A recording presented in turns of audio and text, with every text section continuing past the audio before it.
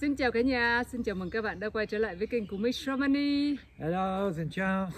À, Hôm nay thì à, tụi mình đi dạo vòng quanh trong rừng và tụi mình à, à, đi vòng vòng xem là có rau gì trong rừng. Mình với anh đi à, đi vào à, trong rừng này một chút tại vì mình muốn à, tìm à, rau mà rau muối á cả nhà. Thì hôm trước ờ, mình có uh, up video thì các bạn ờ, nhìn thấy rau nói là đó là rau muối thế là mình mới biết. Và rau muối ăn ngon lắm nên là mình vào đây mình xem là có rau muối hay không. Lúa mì đang trổ bông nè cả nhà.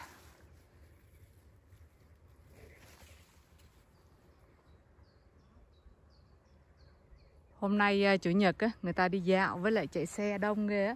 Với lại hôm nay là hôm nay nắng ấm á ở bên đây có nhiều cái cây gì lắm nè mà mình à, không biết là có ăn được hay không.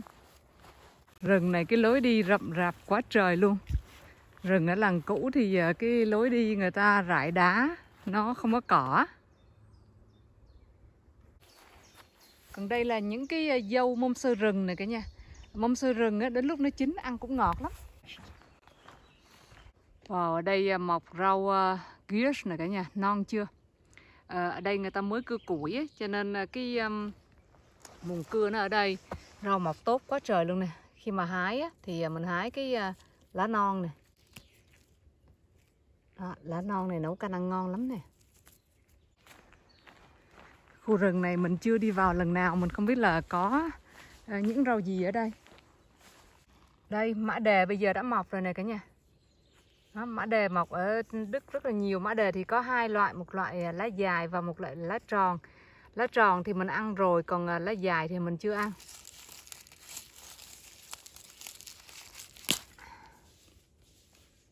Đó. thì à, mình có ăn thử mình hái lá non đó xong rồi mình cho vào mì gói ăn thấy ngon. Cái à, cây nhỏ lá nhỏ nhỏ này mà có cái bông vàng nè ờ, thì mình nhớ là nó có độc đó nha cả nhà cho nên không nên ăn nha bồ công anh thì ờ, đó nó tàn nè.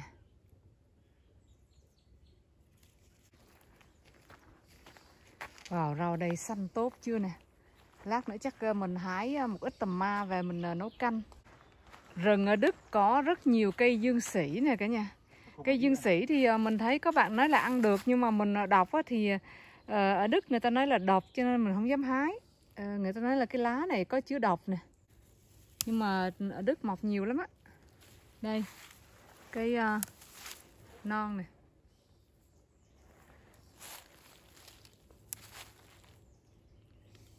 Mình uh, chưa ăn dương sĩ bao giờ. Đường vào rừng này cũng uh, đẹp quá ta. Ở đây mình chưa đi bao giờ luôn đây cả nhà hôm nay mình à, đi vào rừng á, thì mình gặp cái cây mà cực độc nha. À, Cái cây này á, nhìn nó giống như là cây tỏi gấu Nên à, mình quay lại để các bạn à, nhìn. À, Vì những lần trước mà mình hái tỏi gấu đó Thì à, thì tỏi gấu á, nó có cái cây độc nhìn giống như là tỏi gấu nè Cả nhà thấy không? Nhìn giống thì à, dĩ nhiên là nhìn nó giống thôi Người nào chưa biết về tỏi gấu thì nhìn là tưởng là tỏi gấu Nhưng mà nếu như mình hái tỏi gấu rồi thì mình biết Cây này là không phải tỏi gấu ha tại vì tỏi gấu á, là mỗi một cái lá là nó có một cái cọng riêng nó lên nó thành một bụi nhưng mà nó có mỗi một cái lá là nó có một cái cọng xuống dưới đất luôn. Còn cái cây độc này cả nhà thấy không? Nó có cái thân lên ha. Xong rồi lá nó nằm ở trên này đó nó lên lá trên thân ra nè. Tỏi gấu thì đặc biệt là lá không có mọc từ thân ra mà mỗi một lá là nó có một cọng. Rồi khi mà nó ra hoa này cả nhà. Đây. Cây này hình như là mọi người gọi là cây ờ, linh lan hay sao á. Mình không không nhớ tiếng Việt. Oh, but this is my collection đấy yeah. à, Tiếng Đức thì gọi là my collection Hoa này nó nở vào tháng 5 này Đây cả nhà thấy không? Nó mọc. Nhìn nếu như mà ai chưa hái tỏi gấu bao giờ thì sẽ nhầm lẫn với nó là tỏi gấu nha. Nhưng mà thấy cây như thế này đừng bao giờ ăn nha. Cây này siêu độc luôn cái gốc của nó thì tím tím nè. Đó, cái thân của nó lên cả nhà thấy không? Một lá hai lá nè. Rồi còn cái bông. Cái bông thì nó cũng ở trên cái thân ra luôn nè. Còn tại gấu á, đặc biệt là lá bông gì tất cả đều là một cây từ từ một nó đều có cái cọng riêng nó từ dưới đất nó lên. Đó, cây này là cây siêu độc nha. Gặp cây này đừng bao giờ ăn nha. Gặp cây này ăn là là không có đường về đó nó cũng mọc lẫn lẫn lẫn đó, nhìn giống tỏi gấu ha.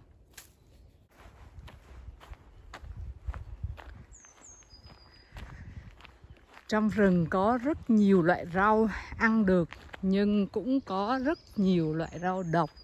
Vì vậy bạn nào đi hái rau rừng thì ờ, ờ, phải chắc chắn ờ, là mình biết rành về loại rau đó thì hãy hái. Nếu không biết thì mình đừng hái, nó nguy hiểm. Ja, eigentlich wollte Löwenzahn, aber der Löwenzahn schmeckt mir richtig gut. Hier ganz viel wirklich. Ja. À, cây um, à, cây cây cây mã đề mã đề mọc uh, đang mọc nhỏ nhỏ quá trời luôn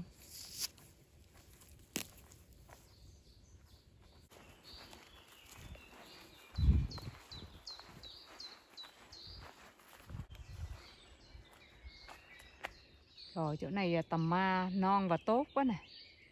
Để mình à, hái. À, Lần trước mình hái, hái mình à, nấu canh tôm á, ngon lắm cả nhà Ăn nó ngọt á, cái nước nó ngọt lắm.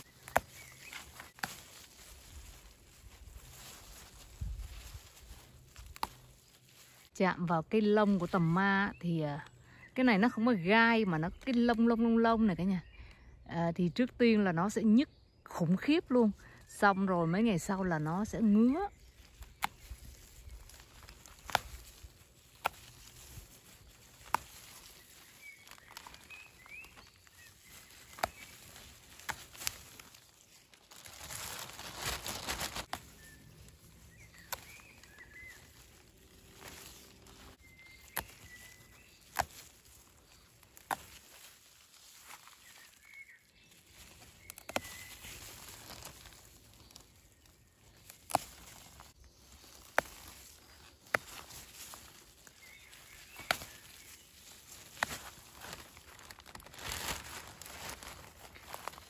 Cái lá này nhìn nó cũng uh, giống giống lá tầm ma ha nhưng mà nó không phải là tầm ma.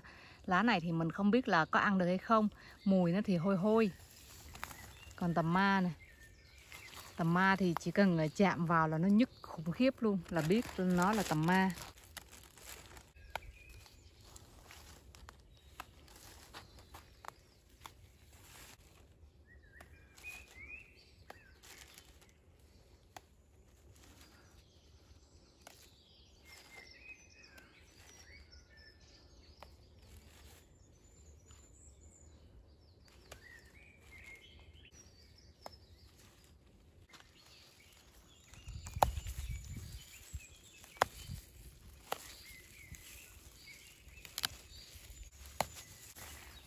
Hái tầm ma à, mọi người nên mang bao tay dày ha mình mang bao tay mỏng như thế này nè.